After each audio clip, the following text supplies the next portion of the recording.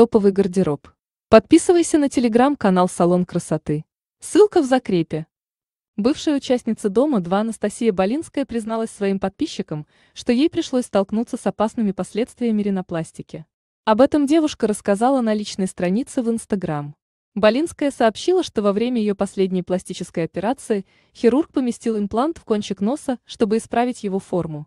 Однако бывшая участница реалити-шоу заявила, что из-за халатной работы специалиста у нее начались проблемы со здоровьем, начался воспалительный процесс. Так девушка выглядела до первой операции на nosinstagram.com слэш настаноболинская слэш Анастасия отметила, что у нее есть около двух месяцев, чтобы исправить ситуацию. Однако, по словам девушки, у нее нет такой огромной суммы, поэтому она попросила помощи у своих фолловеров.